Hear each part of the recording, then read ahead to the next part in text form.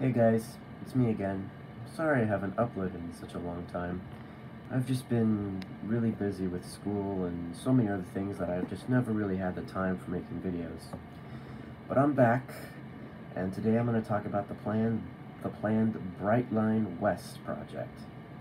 Now, for those of you who don't know, uh, Brightline West is a proposed privately run high-speed rail service service between Las Vegas, Nevada, and Los Angeles, California. The project is intended to provide an alternative to air and automobile automobile travel in, between Southern California and Las Vegas, a popular vacation spot for many living in the region. Construction on the route is expected to begin in spring 2021 and enter service in 2024. Alright, with that out of the way, let's begin. So, we'll start in at um, at Union Station in downtown Los Angeles, and uh, for the first few miles, we'll head eastward through uh, Alhambra and Rosemead and El Monte, which will be all on existing track.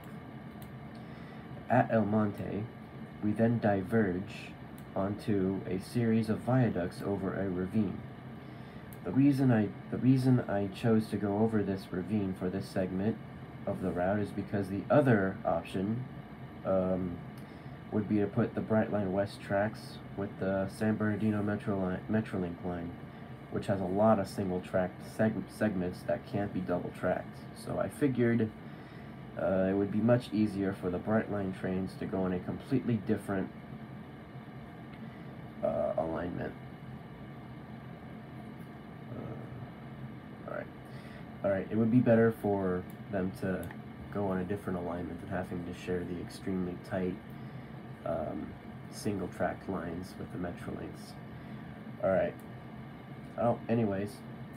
We then head further northeast through Baldwin Park, Irwindale, Vincent, and Covina, and eventually we rejoin existing track over here at San Dimas. And we then head through La Verde, La Verne, uh, North Pomona, Claremont, Upland, and eventually reach Rancho Cucamonga, which is a planned station for Brightline West, by the way. And then, um, we then continue north along the median of I-15 as we proceed to head up through the Cajon Pass and eventually reach the high desert.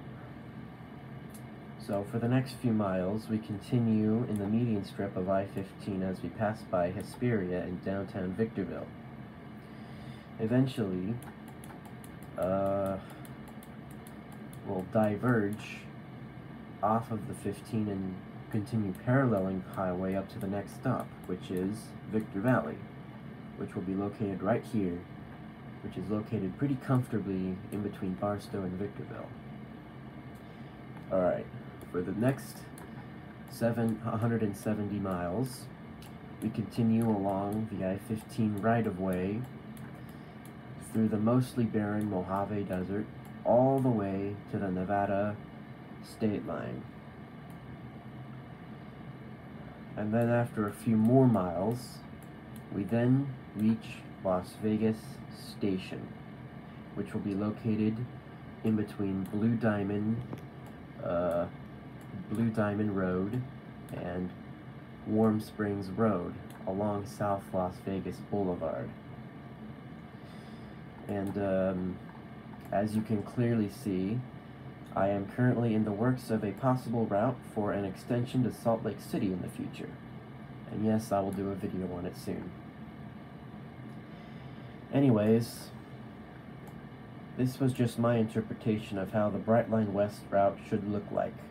I know for a fact that the high desert segment will be mostly in the median of I-15, but as for the segment from Rancho Cucamonga to Los Angeles, I honestly have no idea.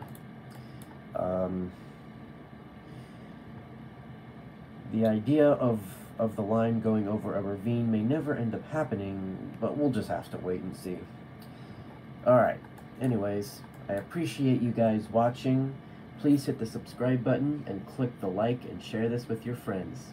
Until next time, see ya later.